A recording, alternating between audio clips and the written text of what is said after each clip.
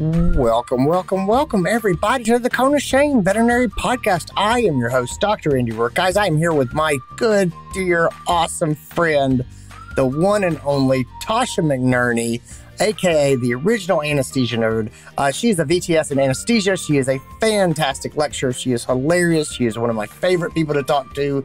And uh, her last, uh, her last episode with me when she was on the podcast we talked about analgesia for uh, blocked cats, and it was very popular because it was very good. Guys, this is an equally good one. Dentistry pain control when cost is a challenge. That's right. Uh, we're not just, uh, we're, money is a real thing and pet owners struggle with it. And also pain is a real thing and pets getting dental procedures struggle with it. Let's talk about cost effective management for that 11 year old Yorkie uh, who's got trench mouth and whose owner has a fixed income. Guys, this is a great episode. I hope you'll get a ton out of it. Let's get into it. This is your show. We're glad you're here. We want to help you in your veterinary career. Welcome to the Cone of Shame with Dr. Andy Roark. Welcome to the podcast, Tasha McNerney. Thanks for being back no with me. No problem. Thanks for having me. I love talking about anesthesia oh, stuff. You, I, you are so amazing. Uh, you and I have been friends a long time. Um, mm-hmm. How good of friends are we? The last text message you sent, do you remember it? Oh yeah, yeah. Uh, you, I have to share this with the world. This is amazing. Me, I was just minding my business and I got a text from you that said, if you call this phone number, they will play Hall and Oates music. And and I did, and it's real. There's a it's, it's real. A, it's a real phone number that you yeah. just call. It's and, uh, call and Oates, so you can call in and hear whatever song you want from Hall and Oates. Call and Oates. Yeah, yeah, for those of you at home who are just like, I, have to, I don't believe this is true. It's uh, 719 266 2837. That's 719 26 Oates. And if you call that phone number, they'll be playing Hall and Oates. Mm-hmm. That's that's the type of communications I get from you, uh, and that's why we're such good friends. Uh, the other reason we're such good friends is because you're brilliant, and because you are a VTS in anesthesia, and because you are super down to earth, real world. Uh, you have uh, worked in private practice uh, your almost your whole career. You did some lab, lab animal stuff for a little while, but um, for the most yeah. part, you have been a, uh, a private practice uh, teacher and technician. And so you know how it really is. So, anyway, I have a case that I would like your very specific set of skills on, if you don't mind. I can do it. Let's go. You're just yeah. They can't they can't see you nodding your head on the podcast. I was trying to think of okay. like a a fun like uh, Liam Neeson taken joke to put in there, but I really couldn't come up with anything. That, um, that's what I was going on. See, you, I know. So... I was like, oh, what? And I was trying to think about Taken Three, which actually my husband and I were surprised that they made a Taken Three. Like, how many times can you get taken before you know you're going to be took? I, I don't. Just yeah. Seems, and I oh, love Liam Neeson, like... but I feel like he really should have been more prepared for this. Well, I agree. I, you know, one of my favorite pieces of business management advice is, you know, if there's something that you're surprised by again and again, at some point you're not surprised by it. It's your business model. And I would say that to Liam Neeson. Uh, you need to take care of this and stop asking surprised when people take your children. Yeah. All right, let's let's let's do this medical thing.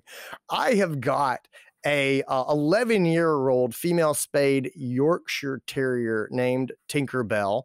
Uh, she is very loved by her uh, by her elderly uh, owner, and she's you can imagine her. She is your older Yorkie. She's just she look at her, look at her in your mind's eye. She's trembling, and she has trench mouth. She has a nasty, funky mouth that cannot be ignored.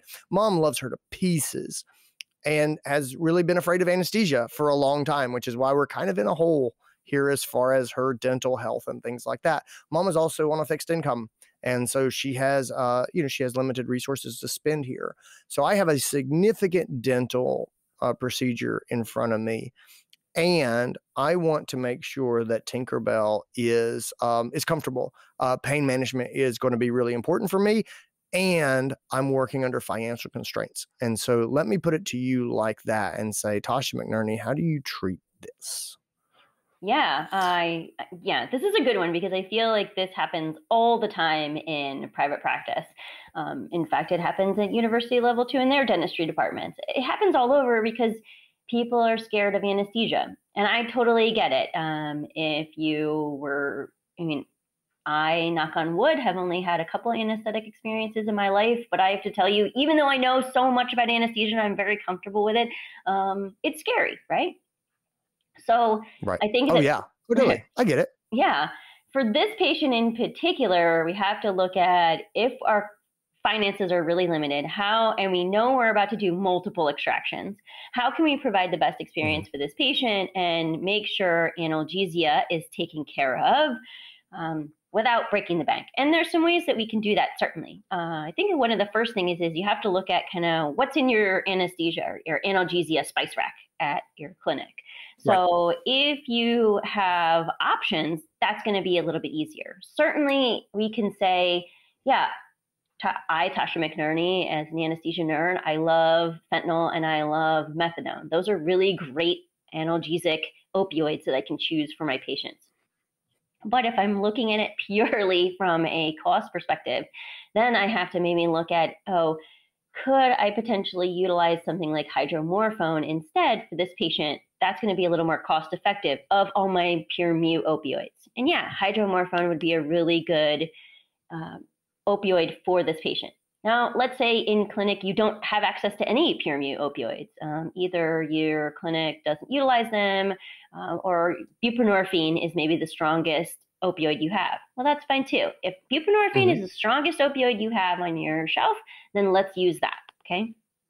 But from a cost perspective, yes, I would maybe not utilize the methadone in this patient because I know uh, mills, dollar per mill, it's going to be more expensive than something like hydro. So let's just say I'm utilizing hydro for this patient, and now I don't want to sure. just give a, a, you know a huge whopping dose of hydro to this patient. Um, I don't know what other comorbidities it has, but if it's an 11 year old Yorkie that has a really really diseased mouth, we know that it probably has some degree of infection going on, inflammation going on.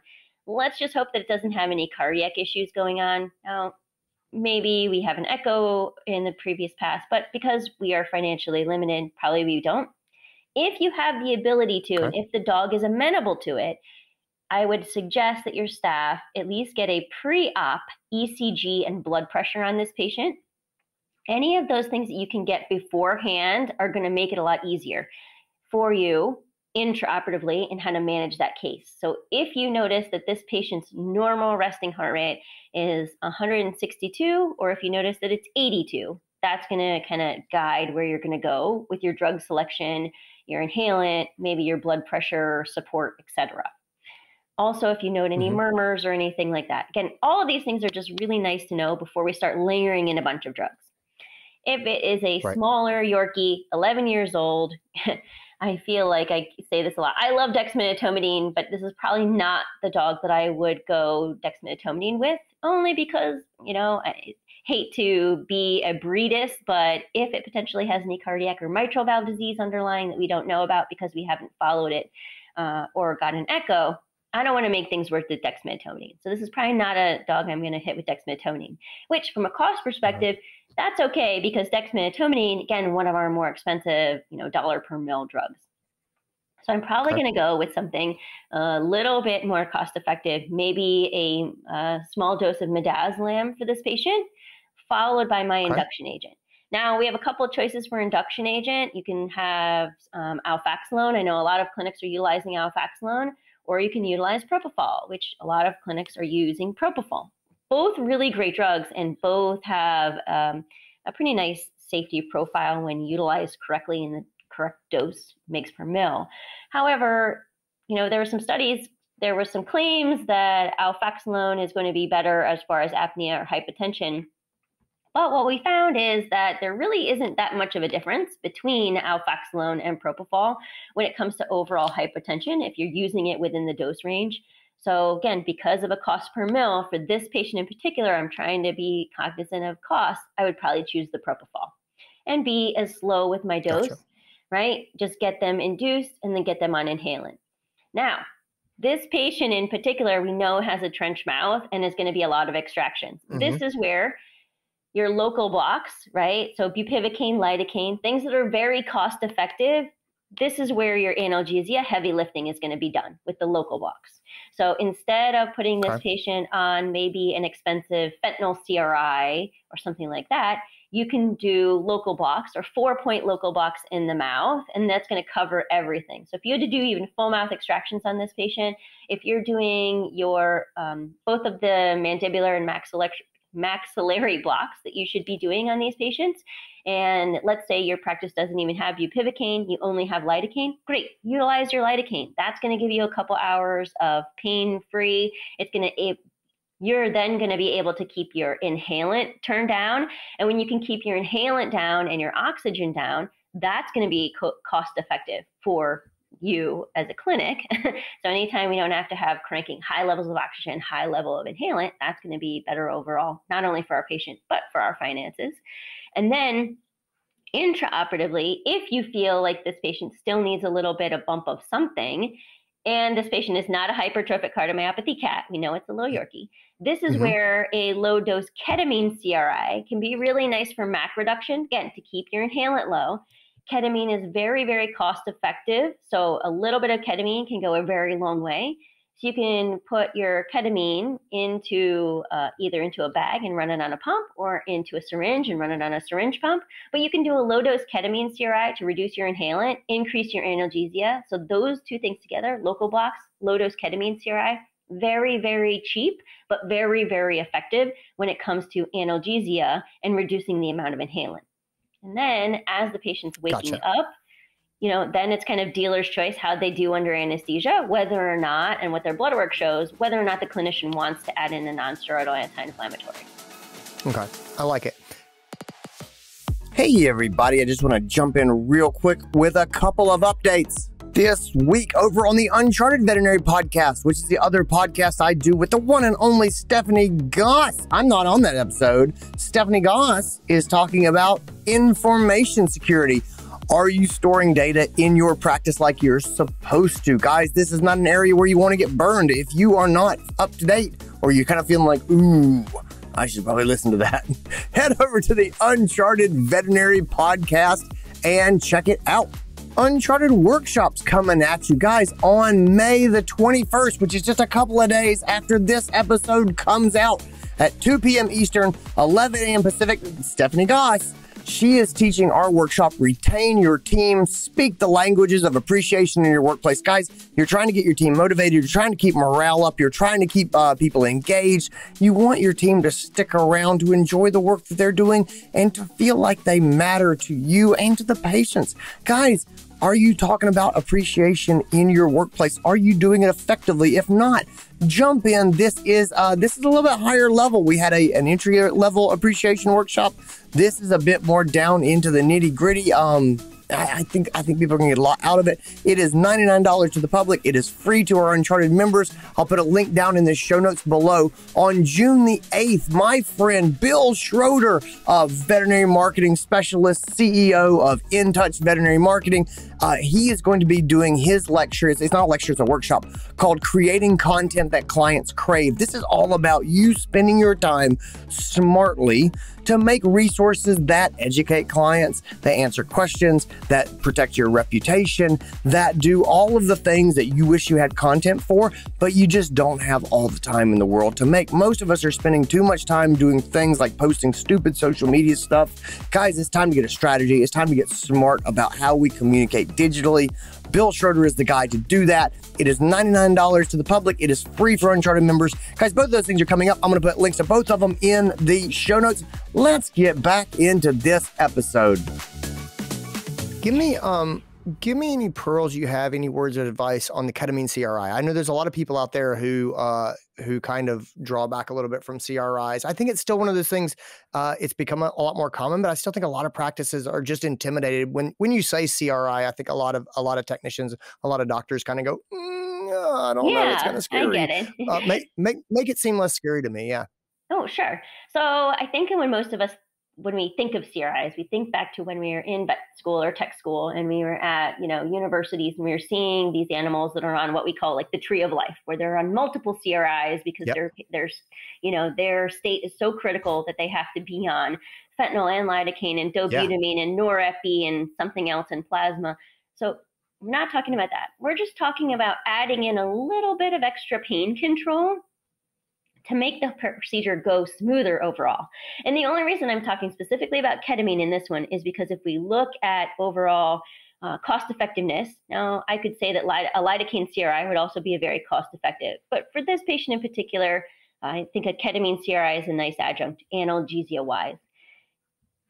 Cost per mil, very, very effective. And it doesn't require that you have to have a syringe pump. So most of the time, they're also thinking, oh, well, I don't have a syringe pump. I only have my regular Baxter pump. I can't run something as fancy as a constant rate infusion. But you can add a small amount of ketamine to a 250 or a 500 ml bag of saline and figure out the math. Uh, I know the math is intimidating, but don't mm-hmm. worry, there's lots of CRI calculators online that can help you with this. Um, the International Veterinary Academy of Pain Management, or IVAPM.org, if you go to their website or even the um, website on your phone, they have CRI calculators where you just punch in the patient's current weight and what dose you want the CRI to be run at, and they'll give you the mils or volume per hour that you should put into your Baxter pump. So don't feel like you have to have a syringe pump in order to make this work. You don't. You can just have, as long as you have some ketamine, a bag of saline, and a Baxter pump, we can run this into our patient. And we're just talking a low dose ketamine. So low dose ketamine is also different because I know sometimes people kind of like cringe a little bit with just the thought of ketamine, right? Because we have these mm-hmm. ideas of 10 years ago when we were using much higher doses of ketamine. And we know that higher doses of ketamine and higher doses really of anything are going to cause higher incidences of side effects. But in ketamine in particular, ketamine, once you get into the higher dosing range, it goes from analgesic to anesthetic. And it has more of these central effects that we see. And I think that people were, and rightly so, I think a cat on a really high dose of ketamine can be kind of scary thing to watch. And they usually don't have the best recoveries. That's where that ketamine crazies kind of um, saying came from was really high mm-hmm. dose ketamine. When I'm talking high dose, I'm talking about like 15 to 20 mg per kg. So like these big doses of ketamine, which we don't tend to use anymore. And when we're talking about analgesic doses of ketamine, we're talking about like one make per kg, two makes per kg maybe. So mm-hmm. smaller, mm-hmm. smaller doses. We're not seeing the same type of side effects we used to in the past. All right. If I have doctors or technicians that want to brush up on their dental blocks, do you have a resources you would point people to that say this is a good review of your blocks? Yes. So for dental blocks in particular, I am a book reader. So if you like to read books, and actually, if you're interested in local blocks in general, there's a really good textbook of regional anesthesia in the small animal patient. And I believe it is by Campoy and Read, uh, Campoy out of Cornell and I'm pretty sure that I got my copy on Amazon, but it goes through every single local block that you could think of from epidurals to ring blocks. You know, if you had to, you know, take a toe off of a patient to sacrococcygeal blocks, if you had to do a tail amputation, to all of the dental blocks. And there's a bunch of different dental blocks that we can utilize. And I think there's also a really cool thing about dental blocks that we also sometimes don't think about is that they don't actually only have to be for dentistry. So sometimes we will utilize a infraorbital block bilaterally if we have to go in and you know take a tumor off the nose, or if we have to do a mm-hmm. rhinoscopy mm-hmm. or something like that. So they're not just for dentistry. I always tell people that again, local blocks are going to do a lot of your analgesia heavy lifting during the surgery, right? Because we could just put our patients on 5% ISO and kick back and they're not going to move. But that's not really balanced anesthesia or analgesia. We want to make sure that we don't have the patient on 5% ISO, that we have on low ISO, and we're doing a lot of local blocks to take care of those pain signals going to the brain. And if you can utilize a local block for every single patient, whether it be a tooth extraction or a um, you know, a radius, radius ulnar fracture that's coming in to a skin incision, right? A laceration repair. So there's a local block for everything. And if we're talking about lidocaine in particular, it's very, very, very cheap way to provide pain management. Perfect. That's fantastic. I will put uh, links to the to the book and then also to the CRI calculators uh, down in the show notes. Uh, Tasha, thank you so much for being here and doing this with me. Where can people find you online? Where can they follow all the stuff that you're doing? Because you're doing a lot of things. Yeah, we are doing a lot of things. So I am most active on the Facebook group Veterinary Anesthesia Nerds and also on our website. So if you ever have any questions, you know, hit me up on Anesthesia Nerds or send us an email through the website. Also, the veterinary anesthesia nerds are kind of like going on tour uh, together. All three of us administrators are, I know, um, we are going to all be present at the Fetch conference that's happening in Charlotte, North Carolina. And then we're also going to be present at the one that's going to be in San Diego this year. So, kind of East Coast, Very West Coast nice. opportunities to do some stuff and talk about how we can elevate the standard of care for anesthesia patients. Veterinary anesthesia nerds coast to coast is Yes. what I'm hearing. So good. Awesome. Well, guys, thanks. Uh, thanks so much for being here. Tasha, thanks so much for being here. I always appreciate your time. yeah, thanks so much for having me. And that's our episode. Guys, I hope you enjoyed it. I hope you got a ton out of it. Um, if you did, please feel free to leave us an honest review wherever you get your podcast. It really makes a difference to me. Um, it's how people find us. It's, it's the nicest thing that you can do, and it only takes a moment. Gang, that's all I got. Take care of yourselves. Be well. I'll talk to you soon. Bye.